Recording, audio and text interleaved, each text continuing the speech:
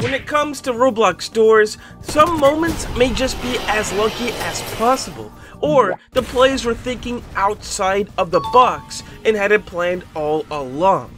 These are 200 IQ moments in Roblox doors, and they will be some of the smartest moments you'll ever see in the game. What was the highest IQ moment you've ever had? Let us know down below, and let's get cracking at it. So you all know about the elevator generator puzzle at the end of the game, right?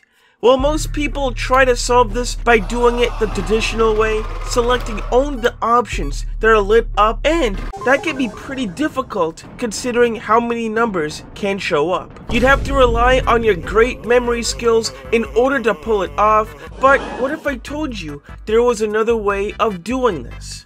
Smart players out there in the community, including some of the top speedrunners, have a specific way of solving this puzzle that involves with flickering on all the switches and just having to rely on those that are not lit up, which makes it so much easier. Now you only have to focus on two to four options instead of remembering upwards of six, which just makes everything so difficult, but at least your brain wouldn't have to strain as much doing this smart little trick. But hey, not only players can have high IQs moments, man. Sometimes the entities such as Screech and Eyes in this one can have 1000 IQ moments, like what Lightning player encountered. It's nearly impossible to find Screech inside the vents like that due to some glitches, and when it comes to Eyes at the end along with Screech working together, you might as well call it game over. You'll die to one or the other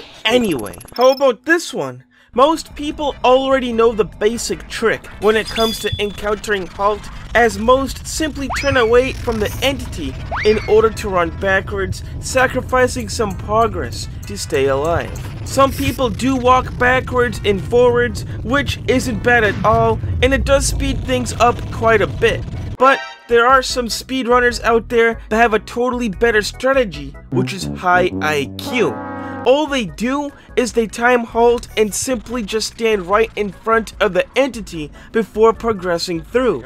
It seems like it's making the entity respawn a whole lot faster and they don't lose their progress by walking backwards as well. It's a win-win situation for you, the players. Who has the better IQ? The entity or the player in this one. The Mighty noticed Rush coming up from behind and they decided to use their vitamins in order to get a speed boost in hopes to try and avoid him. But I guess Rush has other plans in mind for him. Rush was able to call up Eyes and spawn him a couple of rooms ahead and it did catch the player off guard, outsmarting him in the process. Talk about not only great teamwork, but also was kind of a karma moment, which is funny. Again, this time with Rush, this happens a lot, especially inside some of those vent rooms throughout the hotel, but if there is a wall with a door that is unable to be opened, Rush will actually backtrack a bit trolling the players behind and killing them as well. It's like Rush figured out how to walk backwards and instead tried to outsmart the players, which worked out well in his favor. Of course, vitamins are very useful items within the shop, especially if you use them in the right scenarios. You don't usually want to race them in hallways unless you are speedrunning, then that's okay but using them while another entity is coming right behind you, or in order to get yourself out of a little predicament such as this one, is always a smart move in order to keep going and stay alive. Heck, you can even use vitamins against Figure if you wanted to try and get Door 50 done a little easier and faster, which I never actually thought about until now. Granted, the entity does speed up the more books and codes that you have on hand, but I guess if you only have a couple books on hand, you should be good right? This one mainly applies to speedrunners and those trying to get a few couple extra seconds on their runs, but these guys were smart enough to realize you could run right through the fire chandeliers on the ground in order to gain more time instead of going around them. This is called damage boosting and it does help out quite a bit with some time, even if it's an extra second or two. It all counts when it comes down to speed running. This one also needs no introduction, but just go left a figure, especially at the end of the game.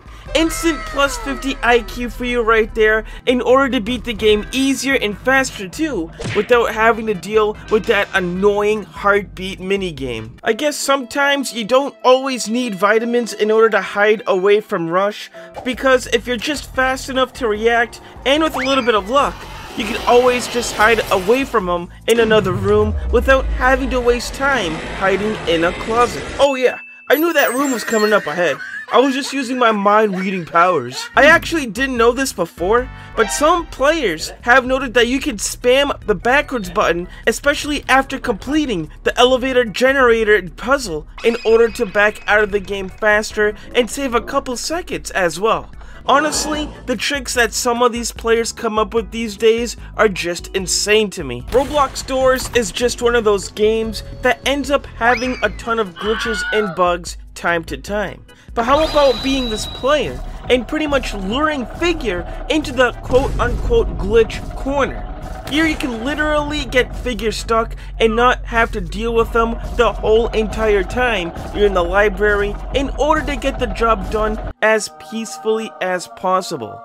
Honestly, not a bad way to look at Door 50, and they do say, work smarter, not harder, am I right? Also, why even play the game normally as everyone else when you could be lucky and OP by being able to walk through walls, avoiding entities over and over again, such as Cardin Hong. Alright, this one was definitely a joke, but it was pretty cool to be able to see this actually happen within the game. Imagine if you were against your friends during a Roblox Doors race, but you had a huge trick up your sleeve in order to beat them. This was a savage moment, but Boyne Plays ended up using a soundboard from the game in order to troll unsuspecting players. Inside a voice chat during gameplay, they ended up playing fake Rush sounds in order to confuse players whenever a real Rush was coming or not. And they also used it on Screech's annoying psst sound as well, just causing more havoc and paranoia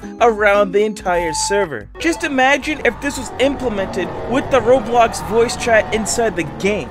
This could be a major thing that could happen when it does. But nothing is smarter than when Rush ended up calling backup against the Mighty in this clip.